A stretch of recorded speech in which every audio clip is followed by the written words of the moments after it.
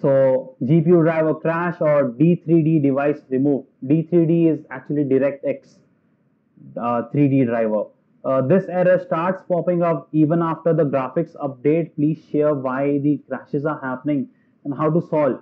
So uh, this error also happened to me as well few times. You might have seen in my lectures. I have came across these errors many times, right? So these kind of error happens when your laptop isn't having that much of ventilation. Your laptop is heating up more. So make sure that when you're using Unreal Engine, you keep a, what's it called, a laptop uh, pad. Okay, it's a fan. So you can get that on Amazon or Flipkart. You keep that at the bottom.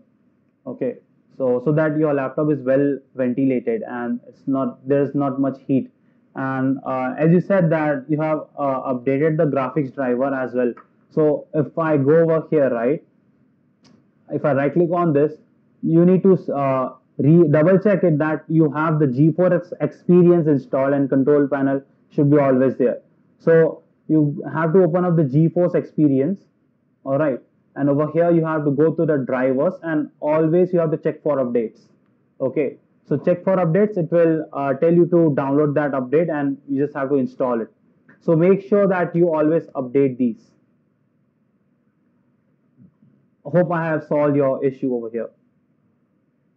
And even if still you're uh, having this issue, I would recommend you to reinstall your Windows actually.